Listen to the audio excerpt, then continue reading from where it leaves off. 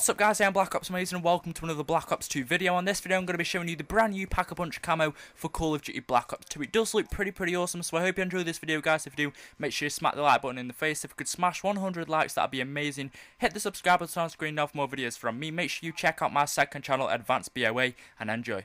So to start off, this pack costs 160 Microsoft points. It's only on the Xbox 360 first, and then comes one month later on the PC and PlayStation 3. You can see within this pack you will get one brand new calling card, three brand new reticles, and obviously the brand new Pack-a-Punch camo.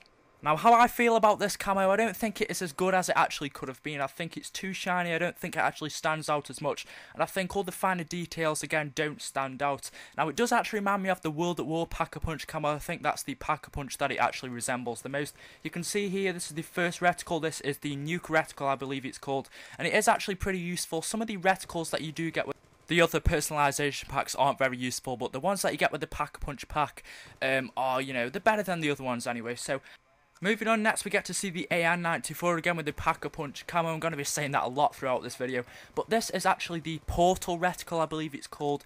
Uh, I think it resembles probably the Gersh from um, Ascension or something, but it's called the Portal Reticle. Again, it does look pretty, pretty nice. Next, to put the brand new camo on a sniper. Again, it looks awesome. You can see the brand new reticle here. This is the last reticle that I'm going to be showing you guys. It's the green dot in the middle. It kind of resembles a star, but then underneath you can see the letters PAP and where weird fonts.